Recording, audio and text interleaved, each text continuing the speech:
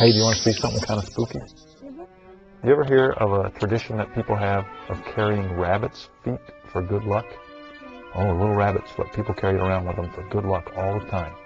But magicians, especially me, Mac King, I have a different little tradition. I carry a mummified monkey finger. You ever heard of such a thing? Oh yeah, this is a real finger from a mummy. It's been cut off from a mummy of a monkey. It's been cut off, and I carry it in this box.